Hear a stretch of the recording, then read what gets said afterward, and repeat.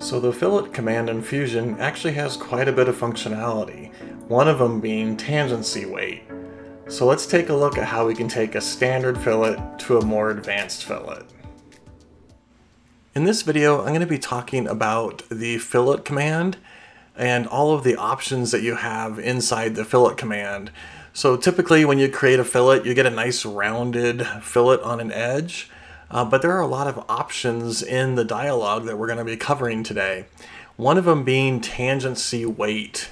And you'll notice when I grab the blue arrow, it changes the radius of the fillet.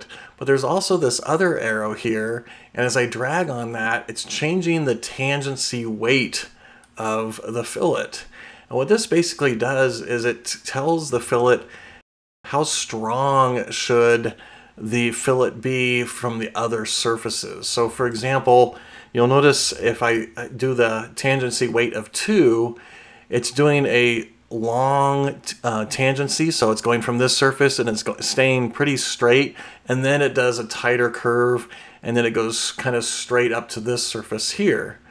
If we change it to the other direction, uh, which is the lower end, which is 0.1, there's still a slight curve here, but it's doing a, a much tighter tangency. So instead of a long, gentle slope, it's doing a very short slope. And then the same thing here, very short slope here. So it's keeping the curve pretty much straight along the fillet. So by default, it's usually set to one. So if I set this to one, it's equal all the way along, but you can change the weight anywhere from 0.1 all the way up to 2. And that will give you different results. So let's take a look at, at where you could use this in a real world example. Um, I want to create a variable chamfer along this edge. Well, unfortunately, there isn't a variable chamfer option, but by using the fillet weight or the tangency weight uh, in the fillet command, we can kind of simulate a variable chamfer. Let me show you what I mean by that. So I'm going to create a fillet on this edge. And because I have tangent change selected, it's going to select the whole edge. But I'm also going to change this radius type from constant to variable. And what this allows us to do is to have different sizes at the start and finish. So for example, I'll say let's start at point 0.2 and let's end at point 0.3. And so we can see this is a slightly smaller radius and it ends at a larger radius. Now this is the default tangency weight of 1, so it's keeping that nice tangency all the way throughout this fillet. But if I change the tangency weight all the way up to, or down to 0.1, you can see how it almost looks like a chamfer. And it looks like a variable chamfer as it goes along that edge. Now, it's not a real chamfer. There's still a little bit of, you know, a curve right here, but it kind of simulates the look of a chamfer. So I'll go ahead and do that again on this edge here. Let's do the fillet. We'll change that to variable. I like to start to drag to kind of see which one's the start and which one's the end. So let's do 0.2. Um, here's a neat little trick. If I hit these three little dots, it remembers the last entries that I've entered. So I can do 0.3. In fact, I could do the same thing for the tangency weight. I'll do the 0.1 and we get, again, the kind of that flat surface. And so we get kind of the, the look of a variable chamfer um, on these edges. Here's another example of where you could use tangency weight. So I have like this um, elliptical extrusion and I want to create a fillet on from this edge here. So I'm going to go ahead and say fillet. And let's just do maybe like a one inch radius. And you can see how it creates a, a nice smooth transition along this flat surface up to this curved surface here. And maybe I'll go ahead and add in um, a small um, fillet on both sides like so. And that doesn't look too bad, but I'm not overly happy with kind of how that looks. It kind of I don't know, it looks kind of bulgy right here. It's hard to explain. Let's go ahead and do the same thing on the other side and maybe play around with the tangency weight and see if we can get a nicer looking result. So I'm going to do the same thing, radius of 1, um, but I'm going to change the tangency weight. So as I start to drag this, we can see how we can change the tangency weight. And I want to do something maybe like, let's try 1.75. And what that's going to do is it's going to keep this a little bit flatter on this surface and a little bit flatter on this surface and create the nice transition like so. And if we look at it kind of from the front, we can kind of see how it looks just a little bit nicer. You know, it kind of climbs up that wall instead of, you know, to me this looks like it's sticking out a little bit further. Let's go ahead and add in those other fillets on here real quick. So I'll do the 0.125 on both of those. I'll say okay. And I just think aesthetically this looks a little bit nicer than this one does over here, for example. Um, and so I know it's minute, but it just makes a little bit nicer looking fillet in this case, I think. Um, and again, you could come in and change that um, tangency weight, maybe try like 1.5 or something like that, and you can kind of see how that automatically updated accordingly. So give the tangency weight a, a, try and see how you can get some nicer looking fillets, especially in interesting situations where you've got like curved surfaces going to flat surfaces or even other curved surfaces. Here's another example um, where we're going to talk about curvature. Now this model looks a little bit different. That's because I have zebra analysis turned on. This basically allows you to kind of see the curvature of how one surface connects with another surface. Um, and you can see I have that over here in my analysis folder here. I can turn that on or off. We'll go ahead and leave that on for now. And I'm just going to go ahead and add in a fillet. Uh, let's do a radius of 1.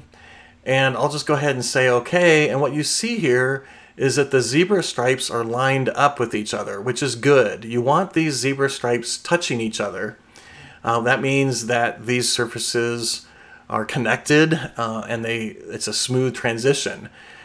Same thing here, you can kind of see what that looks like here. You'll notice these look a little bit nicer because we're kind of going from a cylindrical, you know, round surface to a cylindrical-ish surface here. So you see the nice transition. But this one looks a little bit more sharp, and that's because we're kind of going from, you know, a round or cylindrical surface to a very flat surface. And what that means is if we were to manufacture this, you might see this edge, especially if this was, you know, a very reflective material. Uh, you would probably see this transition. And this is where one of the options in the fillet command can make this look a little bit nicer. You'll notice right here it says tangent. If I and it's a G1 surface. If I click on that, there's the option for curvature, and that's a G2 surface. So I'm going to go ahead and click curvature and watch what happens to these zebra stripes down here.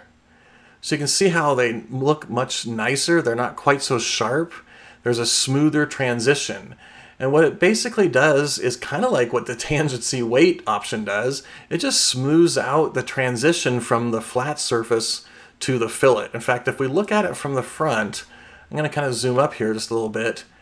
Let's compare tangent. So you'll notice this edge here, and then it kind of comes down like so. Watch this area as I change it to curvature.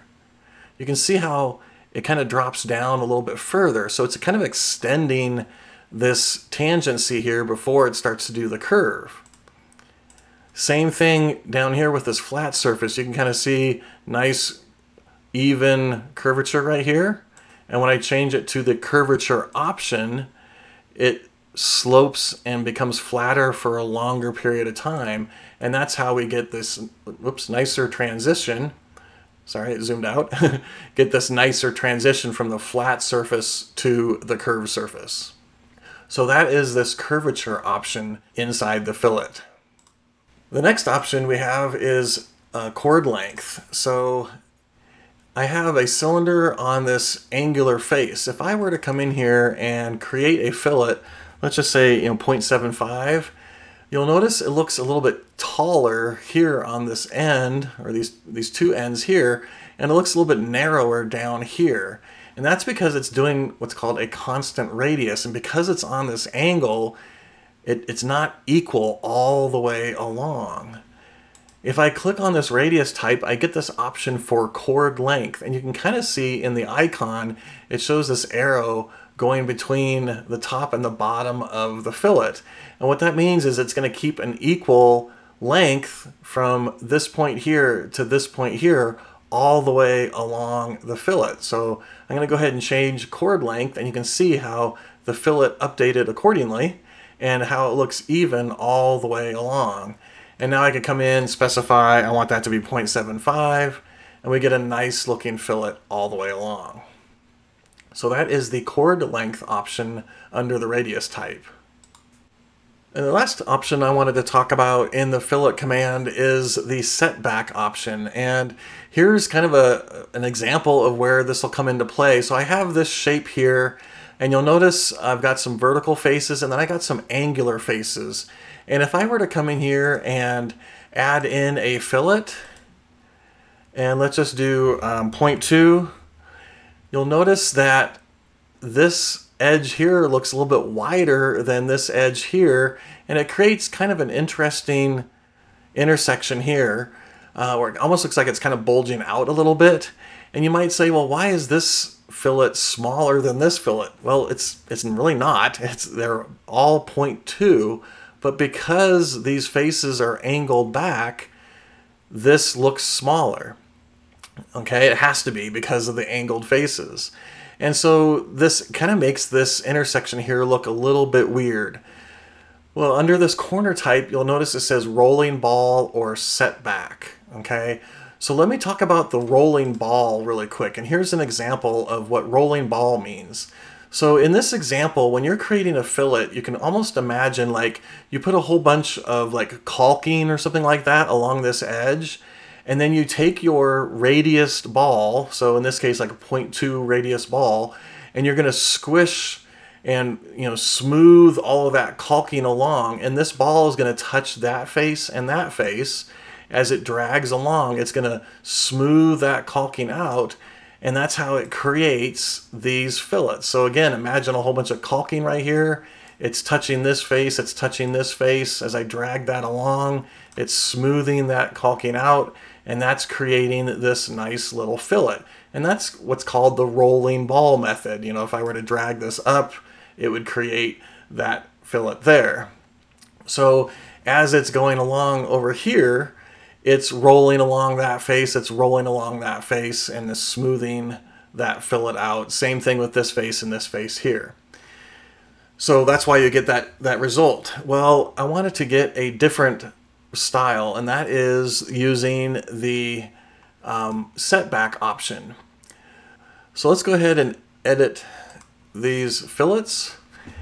And I want to change um, the style to setback and I'm going to go ahead and add in these edges and you'll notice how I get a different result. And let me go ahead and add in this last edge here and you'll notice the different result that we get. It's almost like it's creating like a surface patch connecting all of these fillets together versus the rolling ball method that you see here. So these are the two different options that you have for the corner type.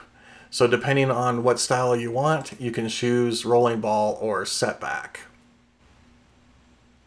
So that was just a quick high-level overview look at some of the options in the fillet menu. Um, again, play around with the tangency weight on some of your fillets if you're trying to get a nicer looking transition, especially on like curved surfaces or complex surfaces. You might get a nicer result by changing the tangency weight or even changing the curvature style like I showed between tangent and curvature. So give these options a try on your next project, and thank you for watching. I hope you learned something new and enjoyed that video. If you did, make sure you like and subscribe to be notified of upcoming videos. If you need help learning Fusion, visit my webpage at cadedllc.com. And as always, have fun learning Fusion.